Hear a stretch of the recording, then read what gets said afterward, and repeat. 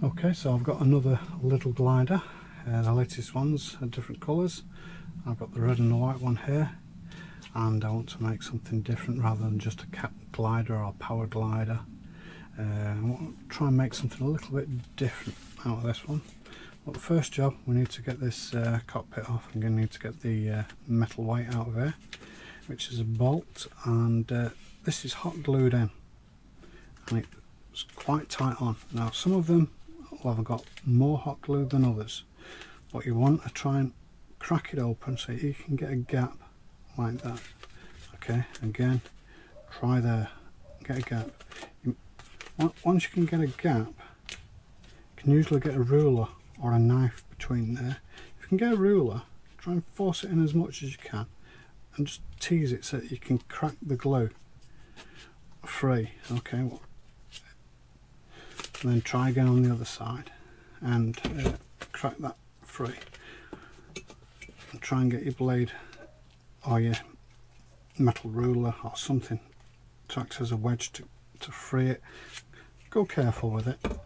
And if you're lucky you'll get it off. Okay say some of them have got a lot more hot glue than others and you may have no alternative other than to use a knife and slice right the way through. Okay uh, when you do get it off like that okay. Hopefully you've preserved that part and that part. We're not worried about the little part in there because we'll cut that out okay. Take the bolt out. We don't need that weight anymore. Uh, and then we can work on cutting this part out. And that we can reuse to put back on again. Okay so time to move on. Okay moving on to the next stage. Now that we've uh, removed the cockpit I've decided on my build. I'm going to remove the rear tail and the boom because I find it quite flexible and I'm going to have to remove it for my build. I'm taking it off so I'm going to use a knife and slice it. I may go further back I may not. Let's go for try and keep that straight. I'm thinking about there. I've left plenty on there in case I've made a, a mistake.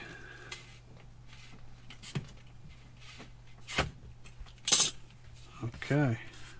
There's the back end off. I've not done bad there. That looks 90 degrees to me. 90 degrees to me. I've obviously got more on. I can take it back if I needed to. Got that part not sure what I'm going to do. Might put it on there. Not much of it left as the. Quite happy with that cut. Nice and clean.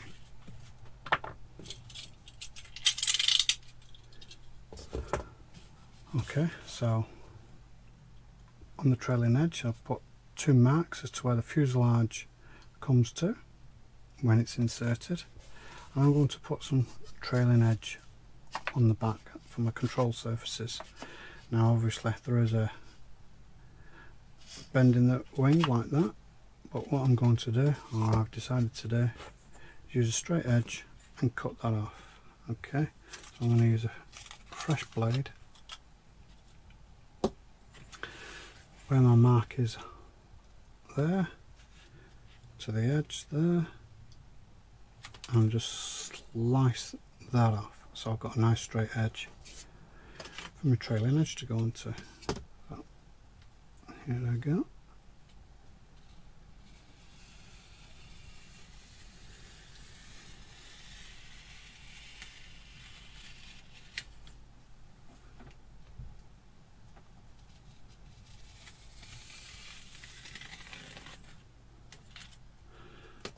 Won't be needing that. There we go. No, not quite straight there. Let's uh, put that back on again. Back to the edge back to the edge. Try again.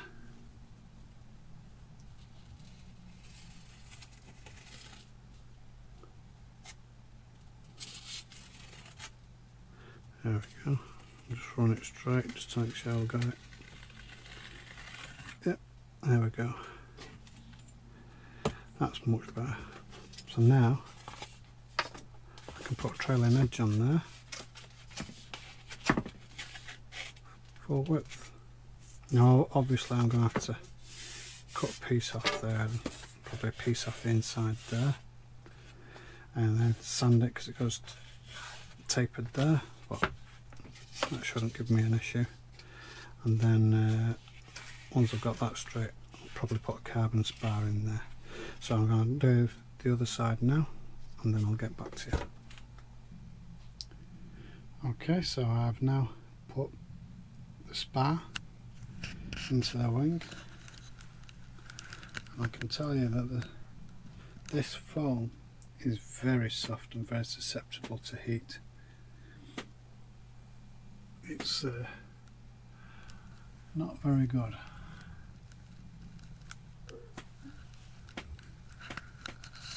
so now that I have put the spar in and I have cut an angle onto the trailing edge of the foam hopefully there you go you can just about see that. Okay. I can put these uh, ailerons on and I'll uh, sand them to shape and put them on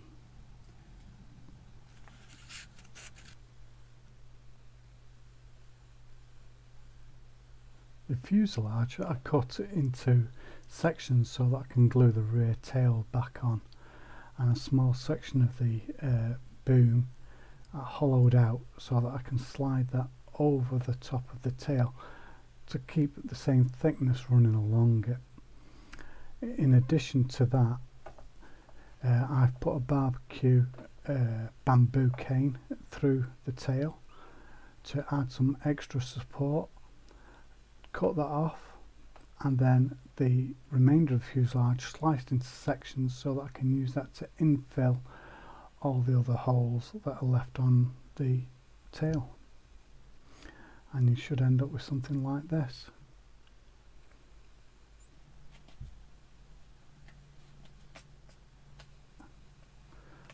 Not bad for my first attempt I think. It's quite smooth and it's quite stiff with that bamboo skewer in there.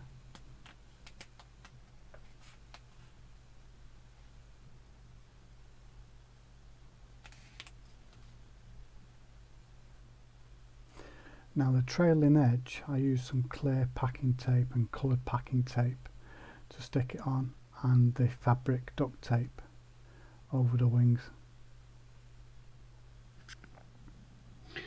Okay, so here's the finished glider it's just a straight wing, flat wing. Hopefully it'll come out on camera. The top of the wing is totally flat. The bottom of the wing due to a taper has a slight dihedral at the tips. Not a great deal. Hopefully enough. Full length ailerons. Okay. The tail is uh, put back on the uh, servos.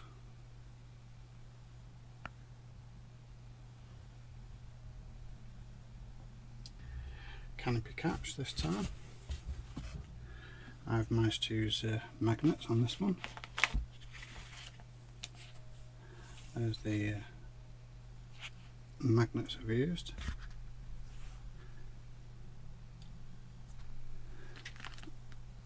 Battery.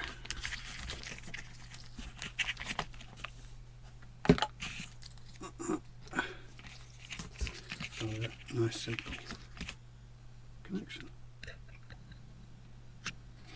There it is, all ready for the slope.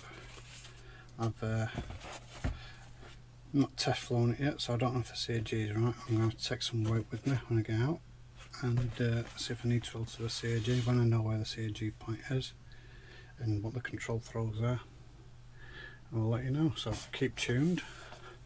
I've got three more or is it two more little gliders I'm going to convert. I'm going to do slightly unconventional.